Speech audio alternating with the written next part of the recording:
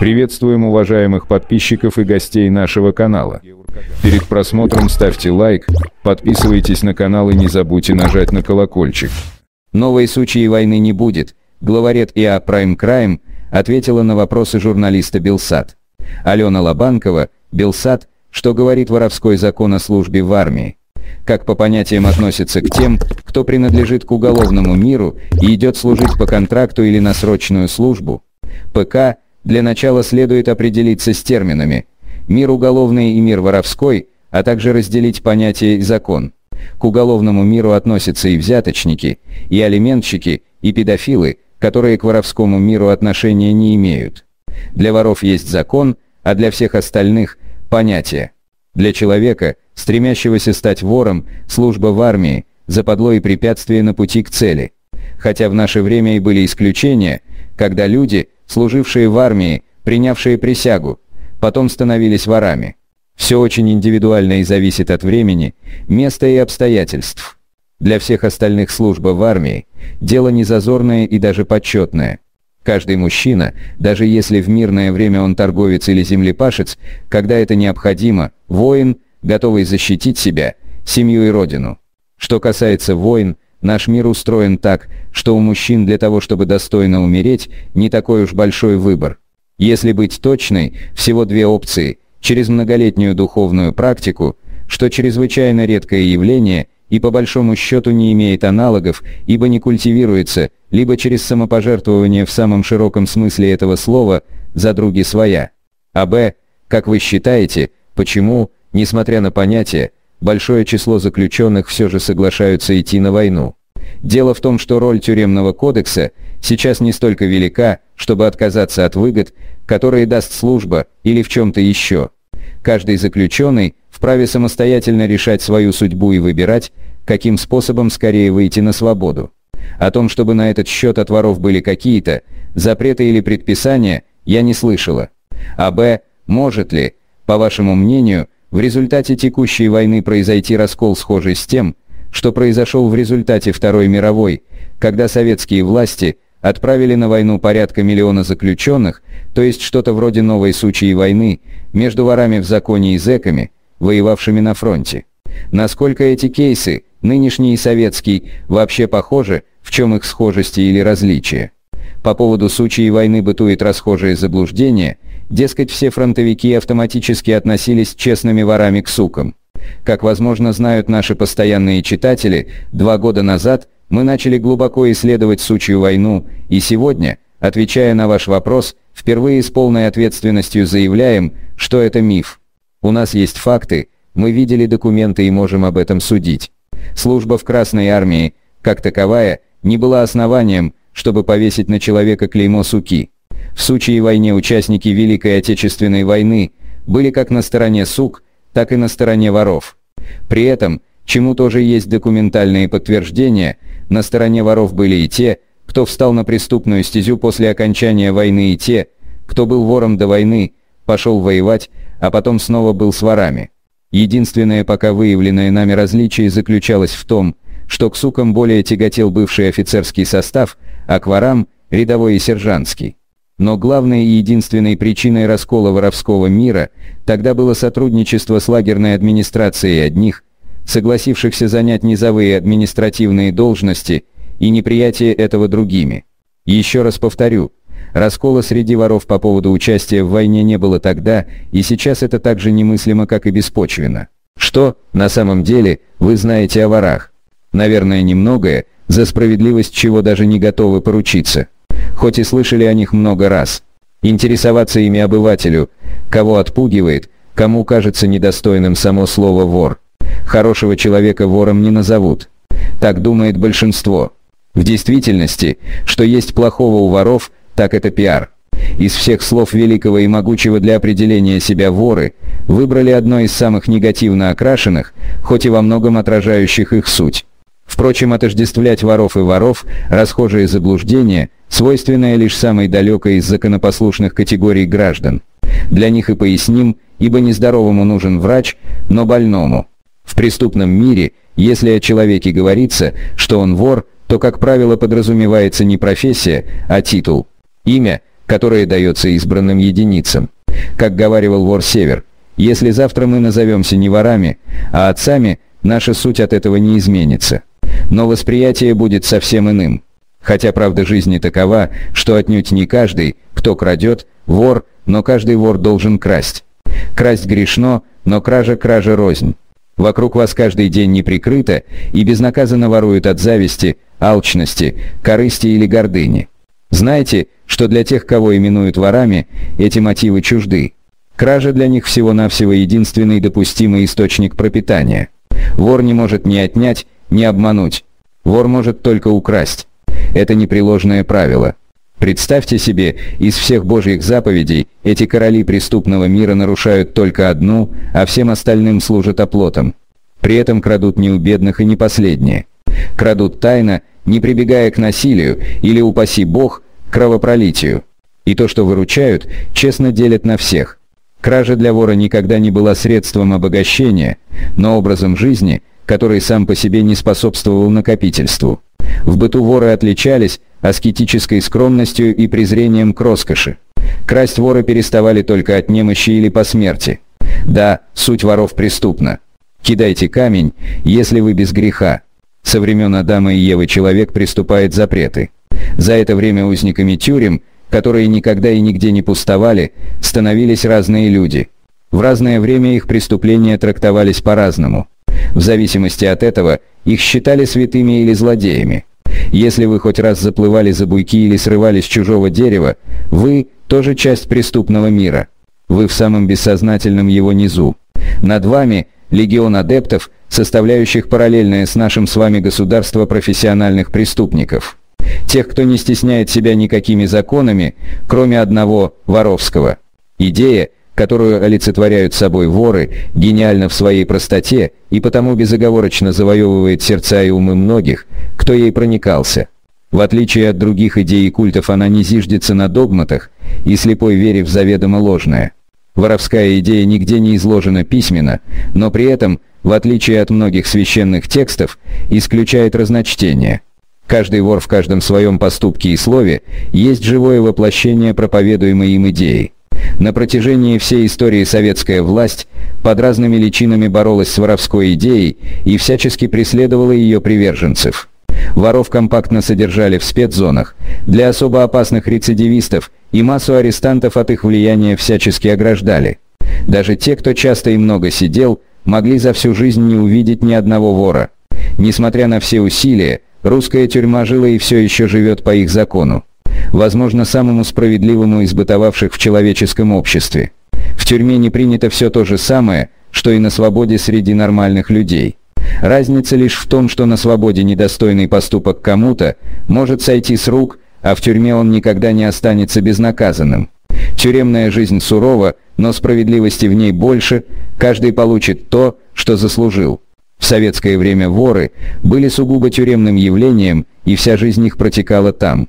Строго говоря, вор сидел в тюрьме не потому, что так хотел Жеглов, а потому что это был его дом. Отсидеть к середине 80-х годов без выхода по 30 и более лет среди воров считалось нормой. Пребывание вора на свободе практически не имело для него смысла и даже считалось серьезным проступком, отклонением от норм поведения. Не имея ни семьи, ни дома, вор на свободе был обречен вести кочевой образ жизни, скитаться, бродяжничать. Если вор подолгу задерживался на одном месте, его могли заподозрить в связи с милицией. В преступном мире власть воров не ограничена ничем, однако уклад их собственной жизни полон ограничений. Все самые строгие нормы поведения воров проистекали из одного главного принципа несотрудничества с властью. Вору были запрещены любые контакты с властью как на свободе, так и в заключении. Поскольку в СССР все принадлежало государству, вор не имел права работать, служить, состоять в общественных организациях. Запрет распространялся даже на чтение газет или боление за национальную сборную. Исходя из того же, вор не мог иметь ничего легального, семьи, собственности, места жительства. Также вору было запрещено признавать свою вину, давать показания или выступать свидетелем в суде. Перманентный протест по отношению к власти всегда был краеугольным камнем воровской идеологии. В стране, где общество до сих пор ментально поделено на тех, кто сидит и тех, кто сажает, примерно поровну, авторитет у армии зэков могли завоевать только те, кто противился власти. Все бесчисленные нельзя предписывались ворам, ради всего одного можно – решать человеческую судьбу. Это право, гораздо более тяжкий крест, в преступном мире закреплено только за ними. На фоне назначенных и зависимых, от линии партии советских судей воры, представляли собой альтернативное правосудие. Главная функция вора – беспристрастное разрешение любых конфликтов. В принятии решений вор самостоятелен и за правильность каждого несет личную ответственность. Никто не вправе указывать вору, как поступить. Слово вора – истина в последней инстанции. Решение вора не подлежит обсуждению, его не может отменить даже другой вор. Чтобы заслужить право вершить над людьми суд, вор с детства должен был не запятнать себя ни малейшим бесчестием, ложью, подлостью, трусостью, предательством или неверностью данному слову. Вор не имеет права пройти мимо чужой беды и несправедливости, даже если это угрожает его жизни. Готовность принести себя в жертву ради торжества справедливости и блага других окутала воров ореолом мучеников.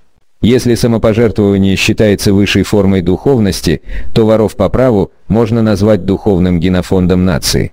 Как русским солдатам в первые годы Великой Отечественной войны воровскому движению середины прошлого века был свойственен массовый героизм. Никогда, со времен раскола церкви, люди не шли на смерть за свои убеждения с такой решимостью, как воры во времена сучьих войн. Понуждаемые властью к отречению от идей, воры предпочитали смерть бесчестью.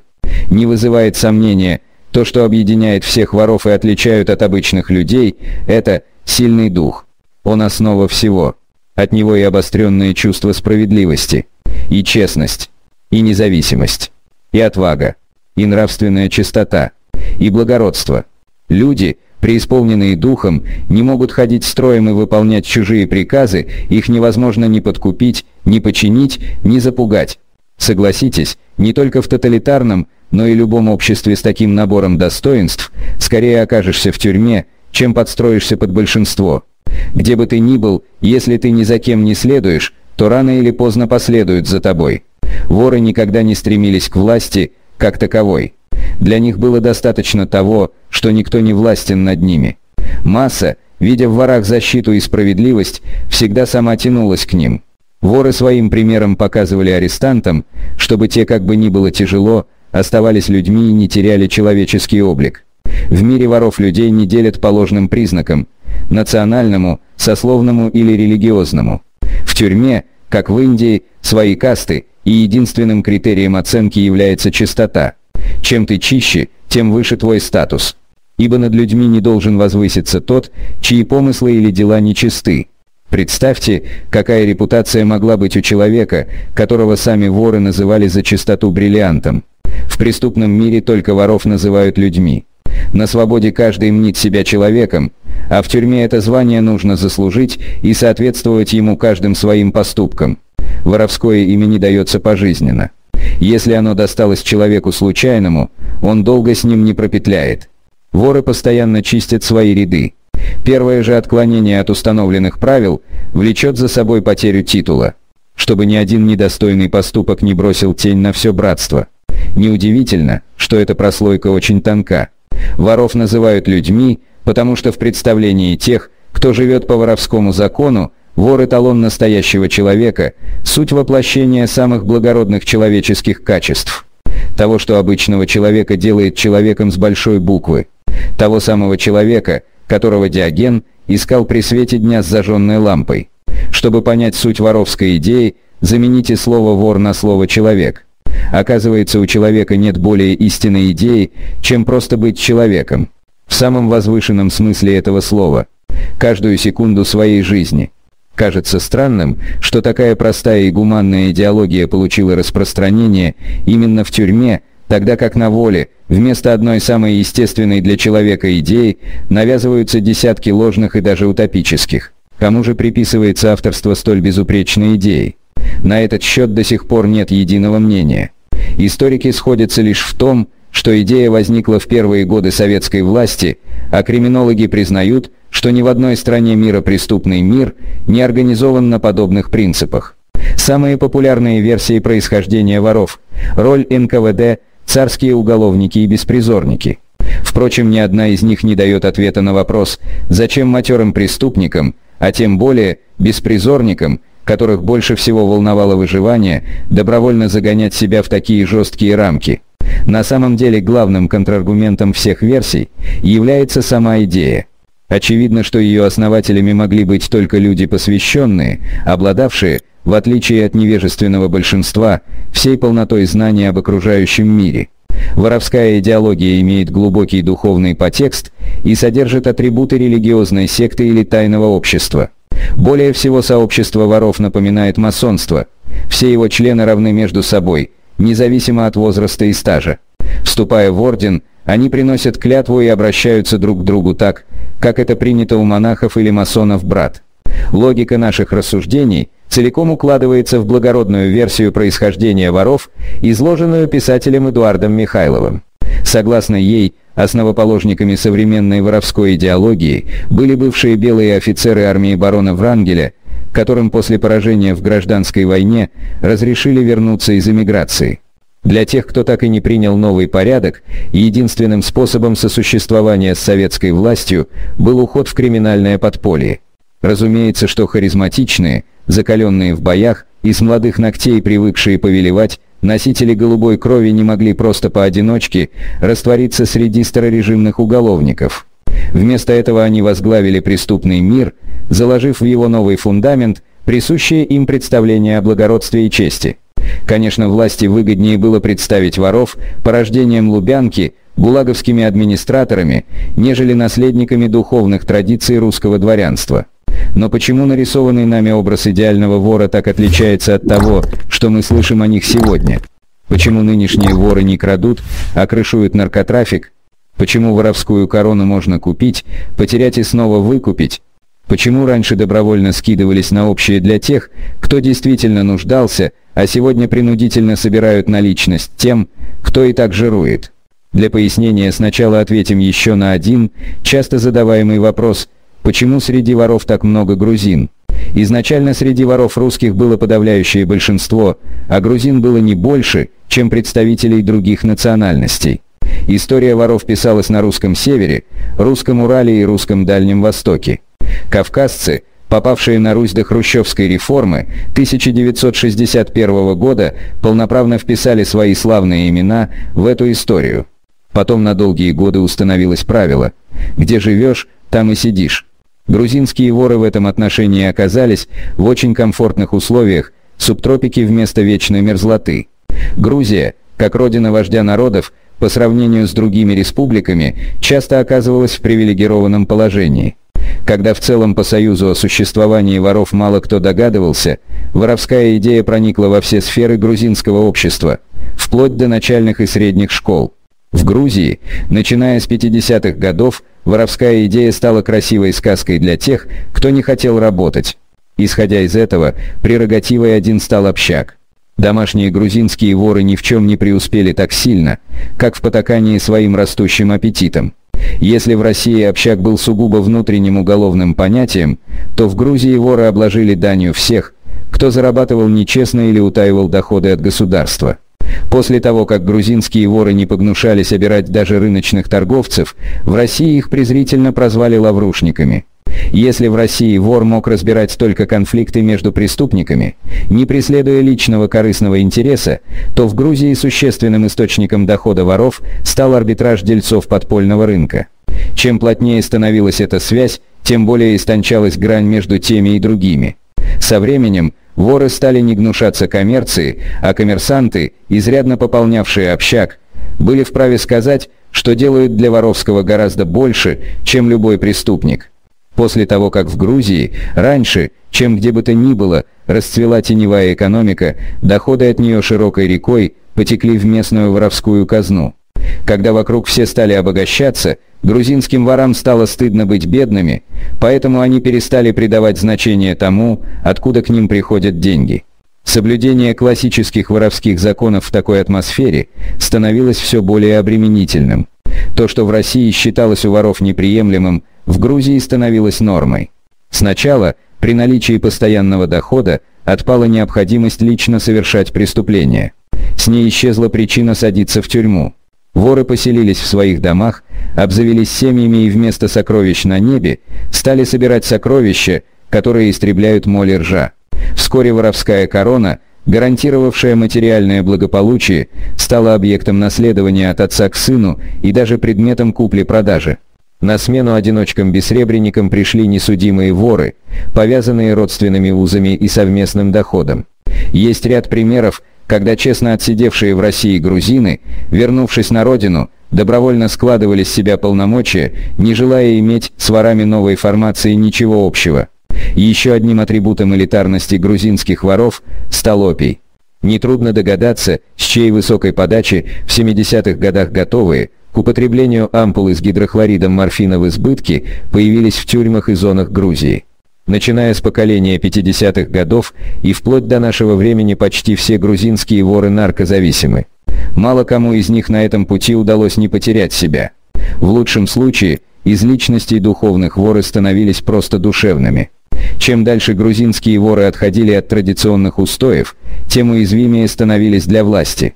Советская власть в лице МВД и ГУИН всегда боролась с ворами слишком прямолинейно. Когда еще никто не слышал о правозащитниках, ворам создавали нечеловеческие условия, в которых их мучили, пытали, ломали.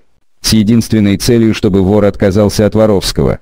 Таких гнутых воров или сук, которые предавали воровское и сознательно шли против бывших собратьев, власть охотно брала на службу, потому что знающие этот мир изнутри, они, как никто другой, могли квалифицированно вредить воровскому. Иногда в результате таких репрессий число воров сокращалось до нескольких десятков, но истребить поголовно всех еще никогда не удавалось. Единицы уцелевших оказывались подлинными кристаллами, о которых слагались легенды. Авторитет воров от этого только креп. Ситуация поменялась в начале 70-х годов, когда до воров впервые снизошел КГБ. С какой, казалось бы, стати – есть мнение, что заокеанские архитекторы перестройки четко осознавали, кто такие воры и какова сила их братства. Они понимали, что воры, в отличие от большинства советских людей, не предадут свои идеалы за банку Кока-Колы и джинсы. Вспомните, кто у Гайдая не дал чиновнику-временщику разбазарить казенные земли. По словам Бриллианта, Известный диссидент Буковский, отбывавший наказание во Владимирском Централе в одно время с ним, уже тогда пытался втянуть воров в политическую борьбу с целью развала советского строя, но получил категорический отказ. Чтобы осуществить задуманное, с ворами нужно было покончить. Эту миссию возложили на КГБ, организацию, отвечавшую за государственную безопасность, без предательства внутри которой развал СССР был бы невозможен. Кто знает, не была ли воровская идея, презиравшая национальные различия, цементирующим элементом пресловутой дружбы народов, с подрыва которой обрушился весь домик. Под предводительством Андропова, известного своими либерально-атлантистскими взглядами, который выпистывал и привел к власти Горбачева и его команду, КГБ впервые взял воров в свою разработку. То, что не удалось победить Петровки, Лубянка в привычной манере возглавила. Не уничтожая и не дискредитируя саму идею, контрики осуществили операцию по замещению верхушки идеологов. Для этого сотрудники КГБ конфиденциально встречались с наиболее видными ворами того времени с целью их вербовки. История не даст соврать, что подобраться к счастливым обладателям домов, семьи и капитала оказалось гораздо проще, чем к тем, для кого единственным жизненным активом оставалось честное имя. 80-е годы стали временем Иуд, которые не повесились, а вложили свои 30 серебряников в рост. Это значит, что воры, тайно согласившиеся сотрудничать с КГБ, не переходили на другую сторону баррикад, а продолжали именоваться ворами. Более кощунственного способа надругаться над честными ворами нельзя было вообразить. После того, как фактически, опекаемые властью суки, присвоили себе имя вора, участь несговорчивых стариков была предрешена. Всего через месяц после прихода Горбачева на зоне был зверски убит Бриллиант. Впрочем, это уже совсем другая история, счастливый конец которой мы скоро покажем в жанре документального кино.